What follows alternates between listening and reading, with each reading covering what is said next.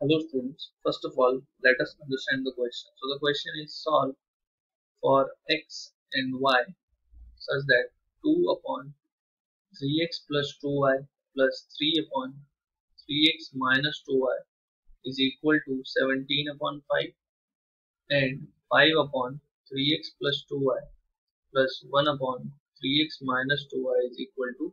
2 okay? So let's start तो हमें question में गिवन है दो equations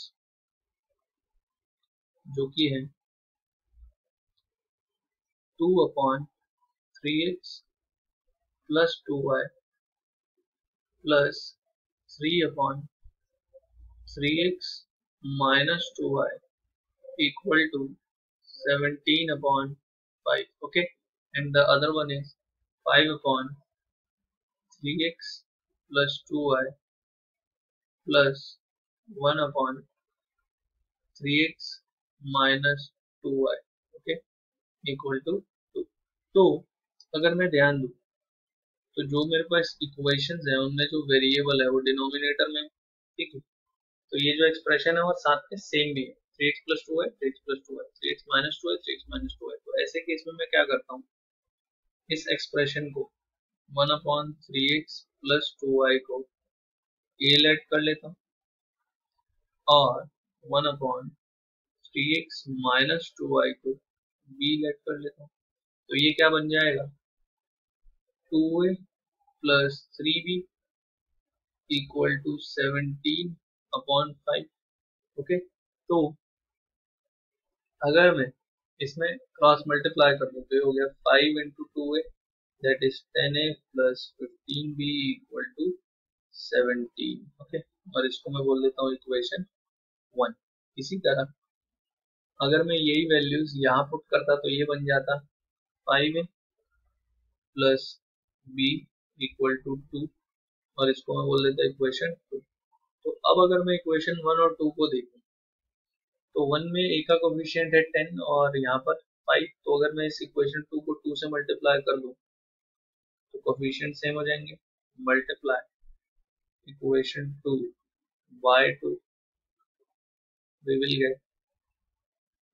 2 into 5a plus b equal to 2 into 2 तो ये हो जाता है 2 into 5 10a plus 2b equal to 4 और इसको मैं बोल देता इक्वेशन 3 अब इक्वेशन 1 में से अगर 3 सब्ट्रैक्ट कर देते हो, a एलिमिनेट हो जाएगा so subtract 3 from 1 we will get 10a plus 15b minus 10a minus 2b equal to 17 minus four तो ये हो जाएगा 10a से 10a cancel 15 minus two is 13 b और 17 minus 4 is also 13 so b is equal to 13 upon 13 which is 1 अब अगर b की value मैं इक्वेशन 2 में पुट कर दूँ तो इक्वेशन 2 है। पुट दिस इन इक्वेशन 2 और वो था 2a plus b equal to sorry 5a plus b equal to 2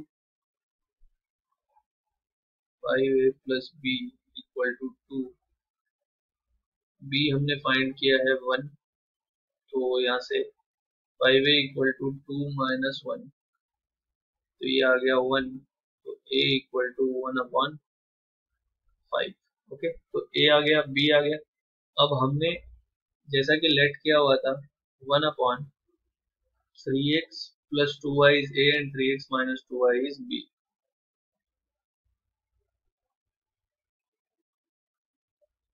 okay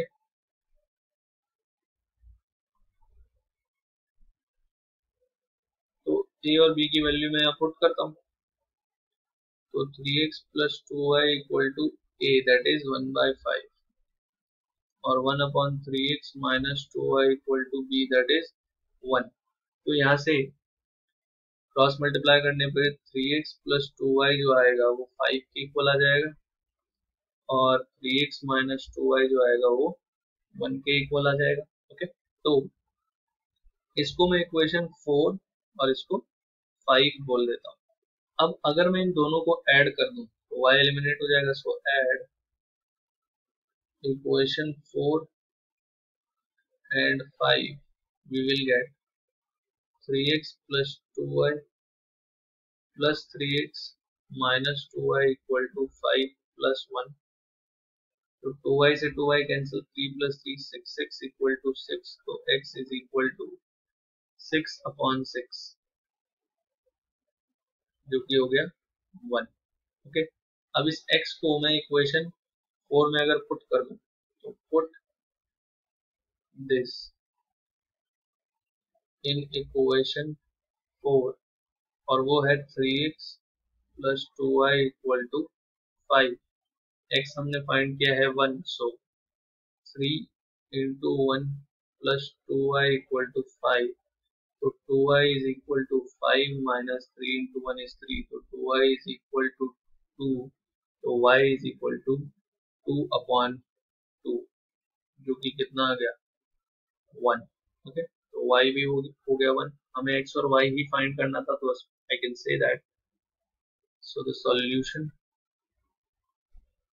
is x equal to 1 and y equal to 1 okay? So i hope ये आपको समझ आया होगा। Thank you